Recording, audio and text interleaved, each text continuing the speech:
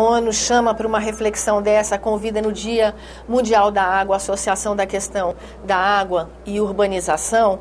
O que, que a senhora acha que isso pode aprimorar a administração e o uso da água aqui no Brasil? Que tipo de, de, de benefício traz um, um, convite como esse? É justamente alertar é, o gestor público de que as cidades terão que fazer, a partir de agora, e já deviam ter feito, é, um planejamento efetivo de como captar como utilizar a água e é, como é, acabar com o desperdício da água.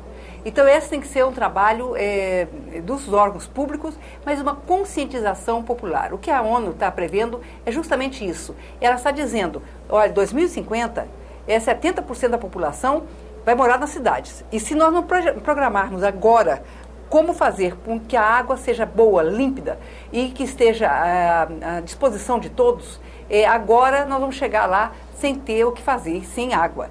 E eu quero só deixar aqui muito claro, Tânia, que água é vida. Sem água não existe vida. E, senadora... Portanto, é fundamental que a gente trabalhe nesse quesito. E passa a ser uma riqueza, porque a hora que a gente tem um alerta desse, o interesse por essa riqueza, o interesse mundial por essa riqueza aumenta. E a gente sabe que a distribuição de água no planeta é desigual. Ela não é igual. Então, e o uso da água num ponto pode alterar água para todos, né? Verdade. Questão Olha, de você falou uma coisa certa. É, não é que seja desigual no mundo, é desigual, por exemplo, aqui no Brasil. Você pegar a Amazônia, detém 80% da água brasileira, mas o Nordeste só tem 3%.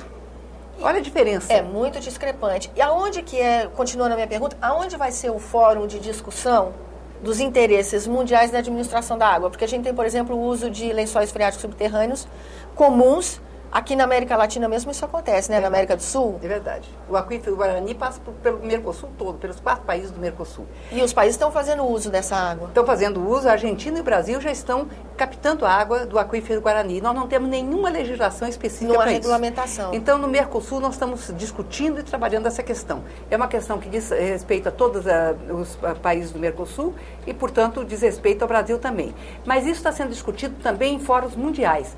É, o ano que vem nós temos um, o, o nosso Fórum Mundial de Águas, que é, o, é em Marseille, na França, em 2012, é, para discutir a água na questão mundial. É, e todos os políticos vai ter, como teve em Istambul, é, na Turquia, uma discussão que pela primeira vez os políticos também sentaram à mesa para ver o que é que nós podemos fazer de legislação para garantir o bom uso e, e garantir que a água continue existindo.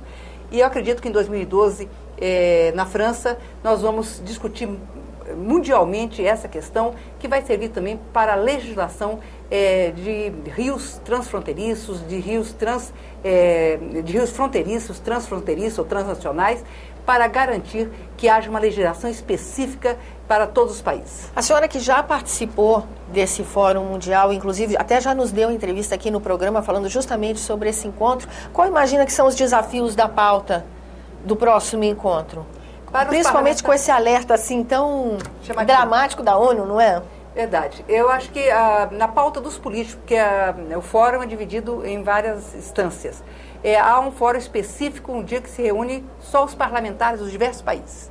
É, eu acredito que nessa, nesse fórum nós vamos discutir já uma legislação específica para é, os países, todos os países mundiais, de águas transfronteiriças e de águas fronteiriças. Eu acho que esse vai ser o trabalho maior. E também de como é, legislar acerca dos aquíferos que existem no mundo todo e que, portanto, precisam de uma legislação também.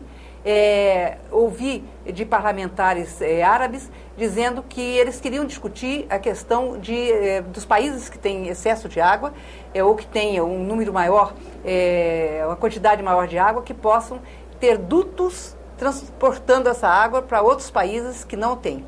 É, isso também vai ter que ser discutido. A questão é uma questão que envolve soberania nacional. É a mesma coisa dizer que o mundo todo pode mandar aqui no Brasil na questão da água do Amazonas e da, da área do Amazonas toda. Já que nós temos 80% é, da área do, do país lá e 12% da água doce do mundo está aqui no país, então você imagine a cobiça de todo mundo a esse respeito. Senadora, muito obrigada pela sua presença aqui no nosso programa. E a você que nos acompanha também, muito obrigada pela atenção. Se você quiser falar conosco, ver mais uma vez essa entrevista ou qualquer outro dos nossos programas, por favor, acesse www.senado.gov.br/tv. Eu sou Tânia Horman, falando para a TV Senado, Rádio Senado e suas conveniadas.